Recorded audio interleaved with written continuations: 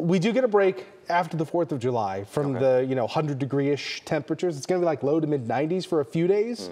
But the holiday itself blazing Very hot, yeah, 100 degrees. Again, just like today, 100 degrees. The high today, that was number two for the year. The low this morning was 80. The normals are 93 and 74, so we are above, the, uh, above those by quite a bit. The record high, 112, set back in 1980. Still have a surplus of rain for the year, which is nice, uh, 8.66. Um, I'd like to keep it that way if we can. Uh, unfortunately, not a lot of rain over the next 14 days. Right now, it's 98, feels like 107. Excessive heat warnings in effect for the Metroplex and surrounding areas. Heat index values tomorrow as well, around 110, if not a little bit higher in some spots. The actual air temperature tomorrow in Dallas, about 100. In Fort Worth, 98. In Denton, 98. In McKinney, 99. 96 in Athens.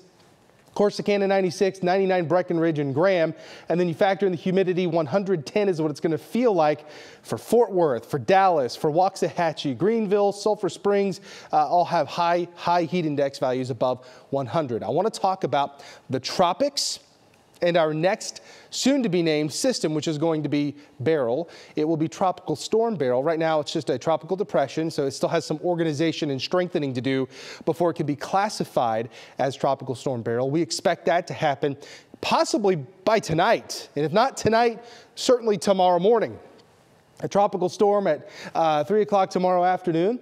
There is a Category 1 hurricane Beryl by uh, Sunday afternoon. That's 2 p.m. with winds of 75 miles per hour. As it moves towards St. Lucia, it'll, it could strengthen up to a Category 2 with winds of 100 miles per hour. That would be Monday. And then watch as the track becomes a little more uncertain. You see the cone uh, widening out quite a bit. Tuesday afternoon, 105. That's a Category 2. Wednesday at 1 o'clock, 90 mile an hour winds at Category 1. That's near Jamaica. Uh, so we're going to have to watch carefully. You know, uh, this is as far as the track goes. Some of the models, and, and here's where the uncertainty comes in. Some of them bring it out back into the Atlantic. Some bring it right into the Bay of Campeche. Some bring it right into the Gulf of Mexico. So that being said, it's just one of those things. You just let's pay attention to it. You know, it's after the 4th of July that we expect it to be uh, at least a potential impact for areas along the Gulf. So we will watch it. The other thing that we're going to watch, the Saharan dust.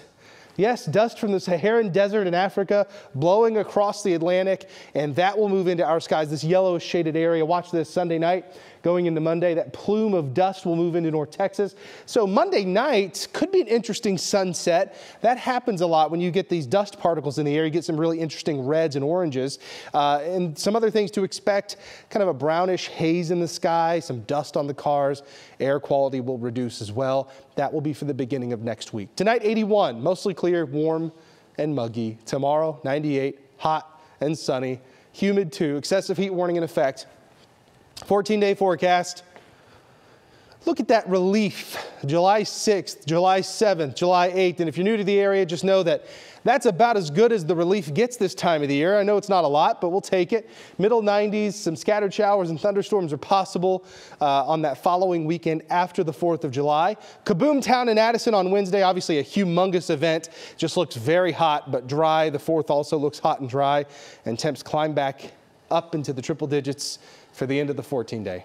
95 does feel amazingly good after you've been above 100 for several days. It's a sad low bar that we've set for ourselves, but yeah, you're right.